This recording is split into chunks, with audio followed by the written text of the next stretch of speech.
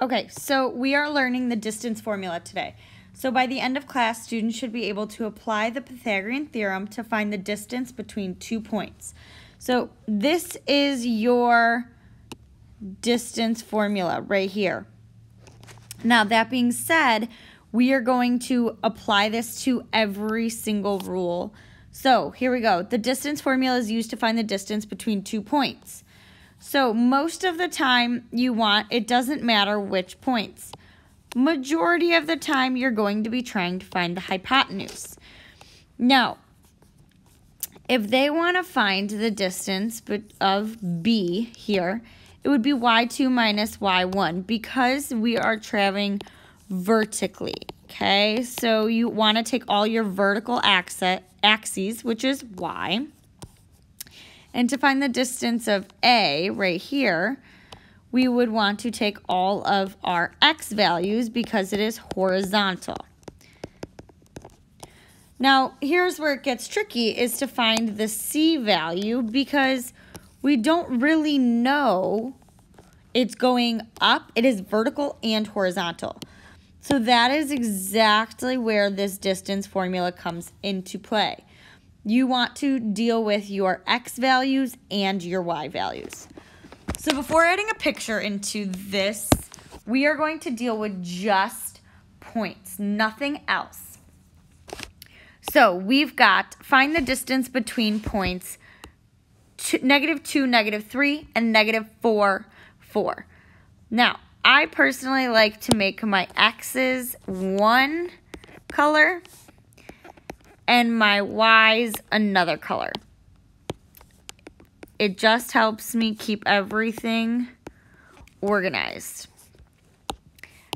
Now, I need to write my square root. Okay, now I can go through and highlight, well, my x2 is negative 4 minus my y x1, which is negative 2 squared.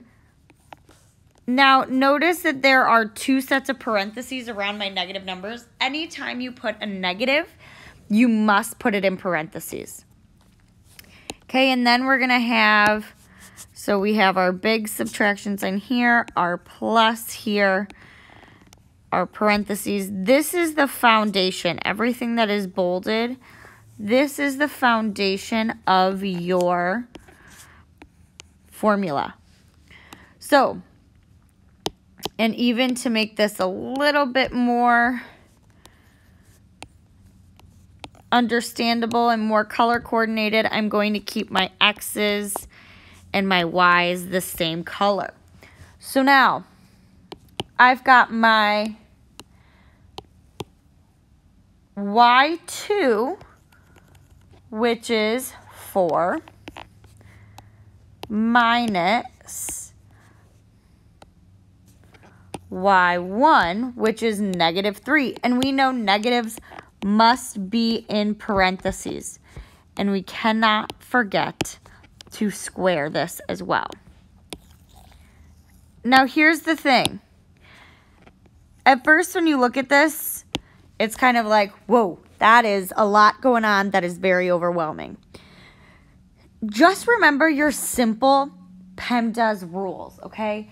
This will help you understand and break down different parts of it without getting overwhelmed. So, what I personally like to do, now you can see here, I'm going to show you on the iPad calculator. Okay, you've got negative 4 minus negative 2. Okay, so this gets me I like to break it down step by step. I've got negative 2 squared plus, I'm going to go ahead and look at my parentheses first. 4 minus negative 3 plus 7 squared. I don't have to put that 7 in parentheses. I normally just do because it really helps me be able to understand and see what I am doing by each and every single step. Now, I've done all my parentheses. Okay, just for those of you that need a little bit of a refresher. Oops. Okay. Um, I've done everything in parentheses. Now on to my exponents. Okay, remember, if you need to type in a negative exponent, use parentheses. So now we've got negative 2 squared is 4 plus 7 squared is 49. 49 plus 4 gets me, let's go ahead and move this up, square root of 53. Now, I can find the square root of 53, so 53 and the square root button. So here you have two options for your answer. You can either write square root of 53 or you can write it in a decimal form, 7.28. Let's round right there. I suggest you leave it as your square root.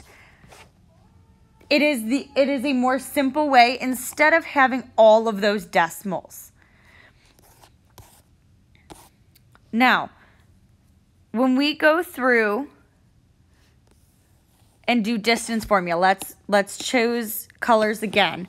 Okay, I'm going to go with my X is going to be pink again and my Y's are going to be blue again. Notice that the first set right here, these are my X1, Y1. They both match. They both have a 1. These right here are my X2, Y2. They have the same exact value. So now we've got my distance formula. Remember, it makes it a lot easier if you just copy and paste this up at the top. The thing I also love about this formula right here is it's color coordinated, so it helps us with all of that confusion. So now I'm going to put in the basics for my formula. This helps me make sure that the only thing left I have to do is plug in my numbers where they go. That part is a lot easier than having to figure out what goes where. So we've got x2, which is 5, x1, which is 1, y2, which is 7, and y1, which is 3. Now, yet again, we want to break this down step by step. So if we have parentheses, then exponents, then multiplication, division, then addition, subtraction. So let's look at everything in my parentheses first, okay? This is where you're going to go ahead and 5 minus 1 equals 4. I know I'm plugging it in the calculator. It's always good to double check. It's never a bad thing to use the calculator and double check. Now 7 minus 3, okay, is 4 as well. Okay, notice I'm keeping them in parentheses just so I can make sure I'm keeping everything together and organized. Now I'm going to move on to my next step, which is every my exponents. Actually, let's go over here, cross out my parentheses. It's done. Now I'm on to exponents. So 4 squared is 16. Lucky for us, they are the same number. So 16 plus 16. Now, always double check. 16 plus 16 is 32. So we've got square root of third, oops, square root of 32. Now, you can try and plug that in the calculator. Let's see if we get anything. 5.65. Mm.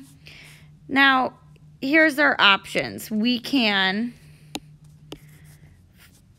go ahead and leave it as third square root of 32 or we can go back and say it is 5.65. Like I said, you can choose either. Your best option is keep it as a square root. Most people and most math teachers would prefer that it is as a square root. So now, you will do the same thing for number three. Numbers, now we are graphing, okay? Here's where we are graphing, so it gets a little bit different. Make sure you're copying and pasting your formula up at the top so you make sure that nothing has gone wrong. Okay, now the first thing that I want to do, my very first step, is to identify the two points. Okay, here we go. We've got point one, which is at negative two, five. I apologize. Those numbers are so small and so hard to read. And we've got P2, so is at four, one. Okay, now we can put here P1 is at negative 2, 5. And P2 is at 4, 1. Okay, from there, all I want to do is plug my numbers into the formula like I've done previously. So let's choose here these can be, now here's the thing. If you notice, I colored mine by X's as one color and Y's as another. If you notice up here, they have these two, the two values, okay, are one color. And the ones are another. Okay, you can do it either way as long as you keep it in this order. So for the sake of this, let's try it their way.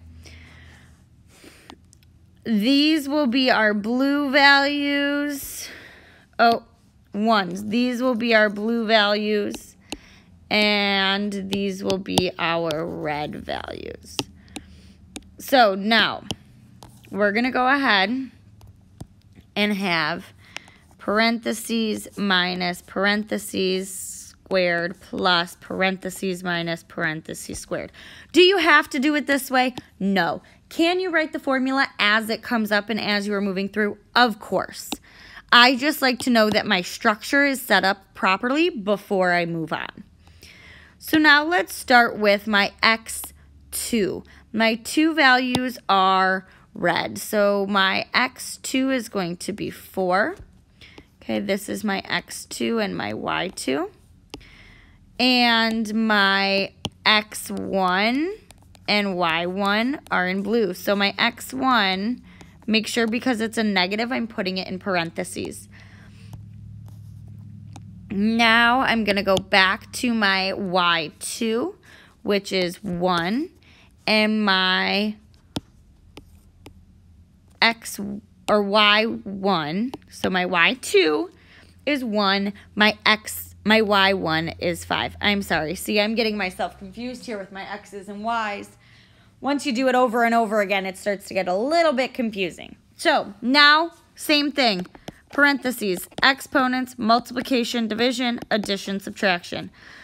Parentheses, make sure you go through. Here we go. I'm going to show you with the calculator again. Never hurts.